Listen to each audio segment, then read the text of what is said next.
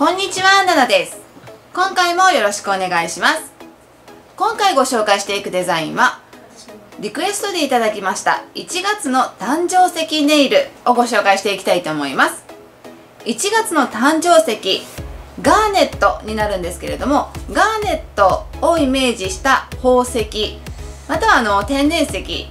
風にですね、ちょっと爪にいろいろな形で表現をしてデザインご紹介していきたいと思います。それでは今回使っていく道具はこんな感じです。今回使っていく道具は宝石をイメージしたデザインにしていきますのでクリア感を出していきますのでエアーの顔料を中心に使っていきます。であとは普段私が使っているもので足りないものですね使っていきたいと思います。そして今回も私のこの左手にデザインしていきたいと思います。薬指小指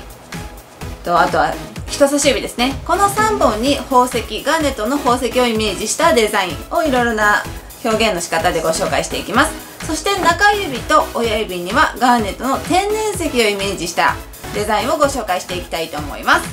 この誕生石ネイルなんですけれども今までにも3回ほど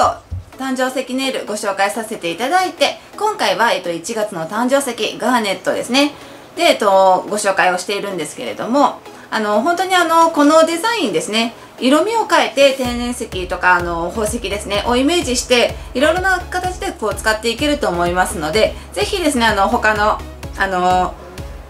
誕生石に切り替えてですねデザインを持っていっていただくのもありかなと思います。デザインだけでなくいろいろな検証も含めて何かリクエストがあればぜひ教えてください。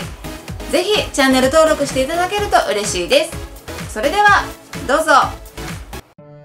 それでは早速カラーを準備していきたいと思います。今回はクリア感のあるカラーにしていきますのでクリアジェルとあとはエアーに使っていく顔料をですね使っていきたいと思います。エアーに使っていくこの赤を使っていきます。クリアジェルが10ぐらいの割合に対してこのインクは1ぐらいの割合で混ぜていただくといいです。あまりたくさん入れすぎてしまうと混ざりきらなかったりするので気をつけてください。では続いてクリアジェルとああと赤ラメですね。を混ぜていきます。これは、えーと、フレンチにした時とかにあのまた別で使っていきますのでだいたい、えーと、クリアジェル1に対して、えーと、ラメも1ぐらいの割合で混ぜていただければ大丈夫です。では早速塗っていきます。これくらいの量筆に取っていただいてまずは小指からです。一層きれいにムラがないように塗っていってください。はいこんな感じで硬化します。では続いてミラーフレンチをやっていきますのでフレンチ先端の部分にですねまずノーワイプトップジェルこんな風に塗っていただいて硬化していってください。硬化が終わったら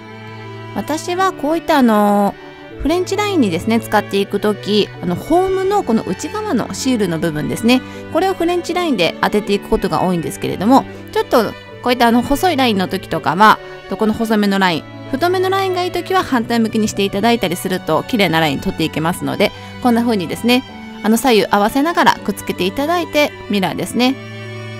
つけていただくといいと思います。余分なもの払っていただいてシールですね剥がしていくと綺麗なこんな風にミラーフレンチできてきます。では続いてこの根元の部分にですね先ほど作った赤ラメを引いていきたいと思います。これくらいの量を取っていただいて根元のところですねを塗っていきたいと思います。で先ほどミラーフレンチにしたのでそのミラーフレンチのラインからはみ出さないように気をつけてください。一層さっさと塗っていただければ大丈夫です。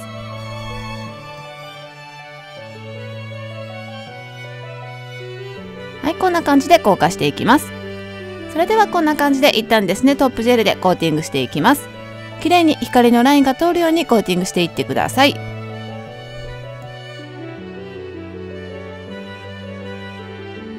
硬化が終わったら未硬化ジェル拭き取っていただいて形まで整えていきます。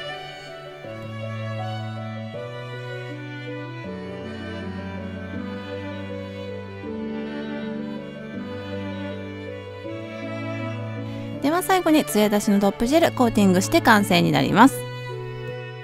さっさと塗っていただいて硬化していきます。宝石をイメージしたキラキラにミラーフレンチでアクセントを出したデザイン。こういった宝石ネイルにまとまりを出していく時に使っていけるデザインだと思います。では続いて薬指です。薬指もだいたいクリアのジェル赤のジェルをですねこれくらいの量筆に取っていただいて一層を塗っていってください。ムラがないように綺麗にこんな風にですねクリア感が出るようにコーティングしていってください。一旦こんな感じでトップジェルでコーティングしていきます。ここからあのちょっと宝石風にしていくんですけれども通常通り光のラインが通るように綺麗にコーティングしていってください。効果が終わったら通常通り未効果ジェル拭き取っていただいて形まで整えていきます。では早速ここからですね。この薬指に関してはガーネットの宝石風作っていきますのでこういった透明のシートを作ってえ使っていきます。私はあのパレットで使っている透明のクリアのパレットなんですけれどもこういったものを使っていただければ大丈夫です。あとない方はあのクリアのクリアファイルとかですねを使っていただいて大丈夫です。そのシートをひし形にカットしていただいてこんな風にですね作っていただきます。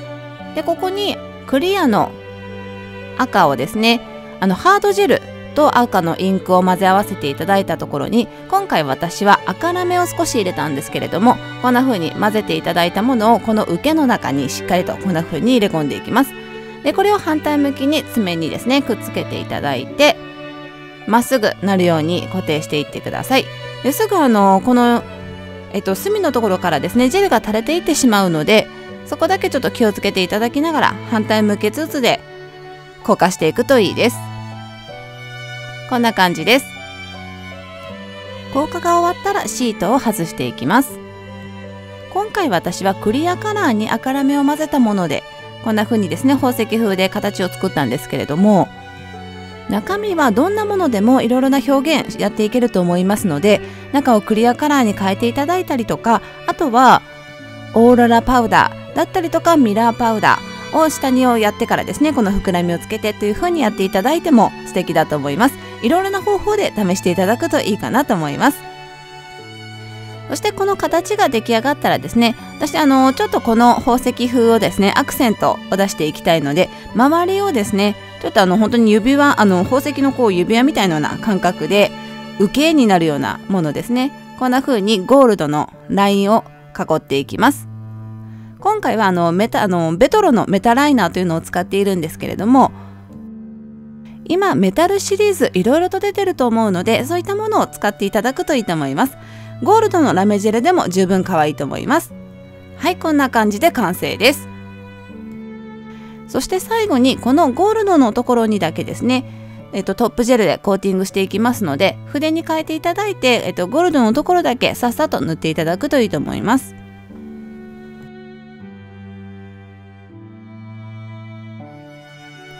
はい完成です。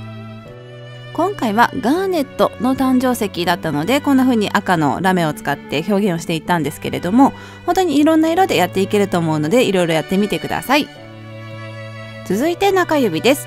まずあのそのままプリジェルの赤をのジェルをですね一層を塗っていってください。ここには、えっと、ガーネットの天然石をイメージしたデザインにしていきますのでベースに引いていくジェルはこんな感じの真っ赤のカラーをまず塗っていきます。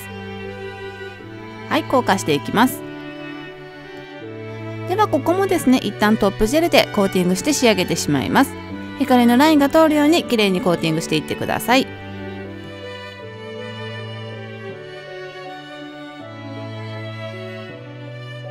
はい硬化が終わったら未硬化ジェル拭き取っていただいて形まで整えていきます。こんな風に下準備が終わったら早速ガーネットの天然石作っていきたいと思います。ここもですねあの先ほどの宝石風と同じでこのクリアパレットのシートを使っていきます。ここではちょっと天然石っていうことなのでこんな風にですねあのフリーハンドでハサミでカットしたちょっといびつな丸いものですね本当に天然石にあるような形なんですけれどもそれをこんな風に切り取っていただいてシートを作っ、えっと、使っていきます。ここでも使っていくのはハードジェルと赤のインク。エアのインクですね。を混ぜたものとあとはハードジェルとベトルの55番白をですね少し混ぜたものを使っていきます。まずは赤のクリアのものをですねこんな風に大胆にこの爪の真ん中に置いていただいてあとは白をですね先ほど作ったものこれもこんな風にランダムに置いていきます。でその上にもう一度赤のクリアをのせてという風にとこの中でですねあの少しマーブルになるような感覚で色を置いていきます。でちょっと楕円になるような感じでこんな風に少し混ぜていただいてそこに先ほど切ったシートをペタッと置いていきます。この状態で反対向きにしていただいて硬化していきます。はい。でこんな風にシートを外していただくとこんな風のあのちょっと自然な感じの天然石ですね出来上がってくるので未硬化ジェル拭き取っていただきます。天然石ってあの本当にクリアなものだけじゃなくてなんかいろいろとですね色が入り混じってるような感じのイメージなので今回はクリあと赤のクリアと白を混ぜ込んでいったんですけれどもこんな風にですね色混ぜていくといいと思います。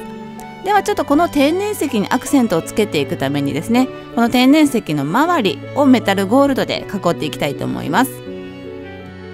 ここでは T ジェルのメタルゴールドを使っていくんですけれどもこの T ジェルのメタルゴールドは割とほんとシャバシャバのタイプになるのであの筆にですねあまりたくさん取りすぎてしまうとダマになってしまってと実際塗ろうと思った時にべちゃんとついてしまうのであまりたくさん取りすぎずで気をつけて塗っていただくといいと思います。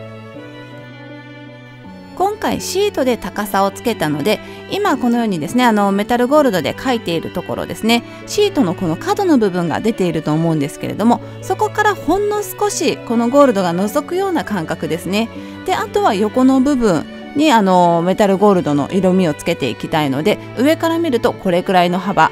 で、えっと、ゴールドを塗っていただくといいです。であとはこの横の部分をですねこの高さが出ているところです。ここにしっかりとゴールドのカラー塗っていきます。よくあの天然石のパレットが売ってると思うんですけれどもちょっとそれに似ているような感覚です。天然石って割とこういびつなイメージがあると思うんですがなのであのもう少しいびつなこう楕円の形を作っていただいてもいいのかなと思います。ではこれで完成になりますので艶出しのトップジェルでこのゴールドのところだけですね筆でさっさと塗っていただくといいと思います。はい硬化していきます。このいびつな天然石大胆に爪の上に乗せてみたんですがこれも色合いを変えて楽しんでいただけると思うのでいろいろとやってみてください。では続いて人差し指です。ここにも同じようにクリアの赤のカラーをですね一層塗っていきます。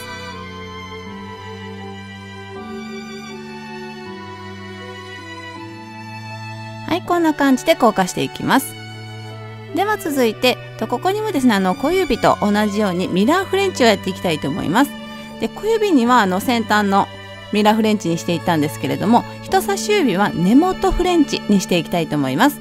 同じようにホームの内側のこのシートを使ってフレンチ部分でですねやっていきたいと思います。まずはノンワイプのトップジェル塗っていただいて硬化していきます。硬化が終わったらホームのこのシートですねしっかりと左右の形が合うように貼り付けていただいてミラーパウダーをこすりつけていくんですがこれもあのいつもご紹介しているミラポミラーミラーをですねやっていく時のポイントとしてシールのところから、えっと、根元に向かって筆を動かあごめんなさいチップを動かしていきます。シールの方向にチップを動かしてしまうとどうしてもこの隙間からですねパウダーがはみ出してしまうのでシールから根元に向かってというような感覚で動かしていただくといいです。では続いて赤のランバスフォロを入れていきたいと思います。このランバスフォロを使ってよくあのこれガーネットじゃなくてもそうなんですけれどもあのいろいろなこのカラーのものでですねこういうランバスの形でよくあのアクセサリーみたいなのが作ってあると思うんですけれどもそういったものをちょっとイメージしてこんな風に作ってみました。単純なこう宝石や、えーと、天然石だけでなくあのこうやっていろいろいろんな形でをモチーフにしたあの宝石あると思うんですけれどもそういったものもアクセントとして入れていくと可愛いと思います。これもですねあのランバスフォロ置いていただいたらトップジェルでコーティングしていきます。コーティングが終わったら未硬化ジェルを拭き取っていただいて形まで整えていきます。で最後にですねこの先ほどのランバスホロの真ん中のところにスタッズをこんな風に入れていただくとちょっとお花のようなこんな可愛らしいジュエリーですね入れ込んでいただくのもありだと思います。では最後に艶出しのトップジェルでコーティングしていただいて完成です。人差し指と小指のデザインは他の宝石ネイル天然石ネイルのこのまとまりをつけるためにやっていたデザインになるんですけれども単純にあのミラーフレンチやるだけでなくこんな風にアレンジしていただくといいかなと思います。では最後に親指です。ここも同じようにですね赤のクリアカラーを一層を塗っていきます。ここもあまりムラができないように綺麗にコーティングしていってください。硬化します。わったら続いてですねこのシートを使っていくんですけれどもこのランダムなこのオーロラのシートがあるんですけれどもこれをこんな風にですね未硬化ジェルが残っているところにペタッとフィルムを貼り付けていただくとこんな風にちょっとキラキラっと輝いてくるんですけれどもこういったあのフィルムも今たくさんあるのであの必ずこれというわけではないんですけれどもこれに似たようなオーロラの何かフィルムですね貼っていただくのもちょっと天然石っぽく仕上がってくると思います。ではこれで一旦トップジェルでコーティングしていきます。綺麗に光のライン通るようにコーティングしていってください。効果が終わったら未硬化ジェル拭き取っていただいて形まで整えていきます。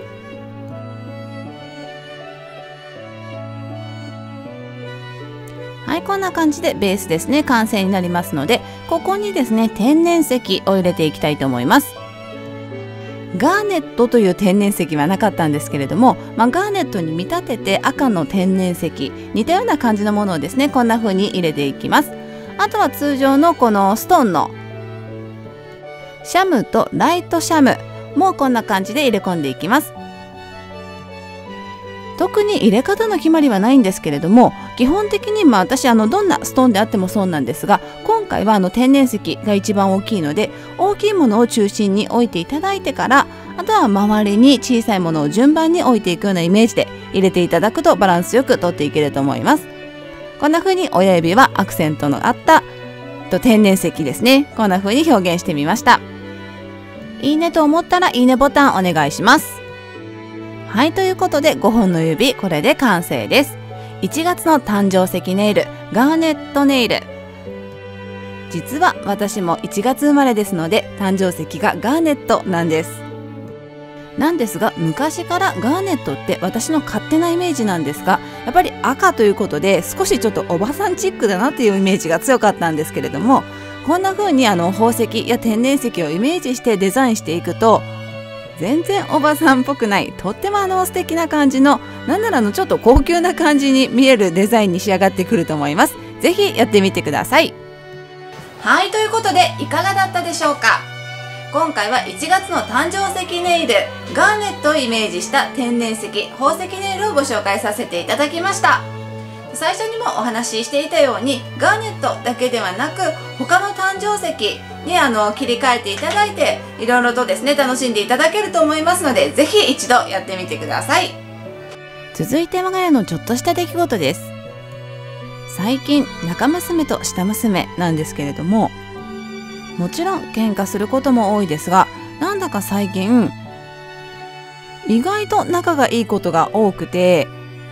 ふとした時に仲良く遊んでいたりするんですがこの前も私の知らないところでふと後ろを見てみると中娘が下娘にピアノを教えていたんです。3歳からリトミックを始めた下娘なんですけれどもようやく今年の4月からピアノに切り替えていただけるということで早速中娘がまずはドレミから教えていました。まだまだ中娘では言うことを聞かない下娘ではあるんですけれどもある程度私が教えるまでにとした、えーと、中娘が下娘に教えれるようになるといいななんて思っています。そして中でもお話ししていたように1月は私の誕生日月ということもありまして前回の動画でもご紹介したように和歌山に行って行ってきた時にですね私の誕生日を兼ねてのちょっとした旅行だったんですけれどもということで誕生日当日はもう特に何もしなくていいよというふうにあの旦那にも言っていたんですけれども中娘がママの誕生日に絶対にケーキはいるということで慌てて閉店間際にケーキを買いに行ってくれました。閉店間際だったということもあってこのチョコレートケーキしか残ってなかったようなんですが旦那は私はあのモンブランのケーキが好きなのでモンブランケーキとかママの好きそうなケーキを何個か買っていけばいいじゃんっていう風に中娘に言ったみたいなんですが中娘は誕生日のケーキは絶対に丸いのと言って聞かなかったみたいでこの残っていたチョコレートケーキを買ってきてくれました。ですがどんなケーキでもこんな風にですねあの子供が考えて買ってきてくれるってすごく嬉しいことですよね。いくつになっても誕生日をお祝いしてくれるのってすごく嬉しいですよね。これからも大事にしていきたいなと思います。以上我が家のちょっとした出来事でした。今回も最後までお付き合いありがとうございました。